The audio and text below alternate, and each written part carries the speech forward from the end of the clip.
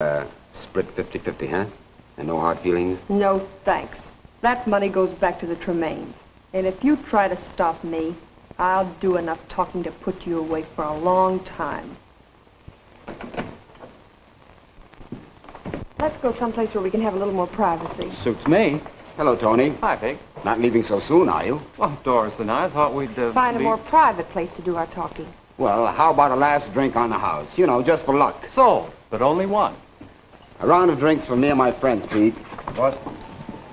What do you have, Doris? Nothing. Tony? Bourbon highball. Yeah, and put an extra shot in it. This is a big occasion. He and Doris have just made up. Okay, Vic. I'll give him something to remember us by.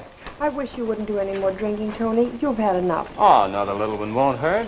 Anyway, Vic's my friend. I can't refuse him. You used to be the one that never let his glass stay empty.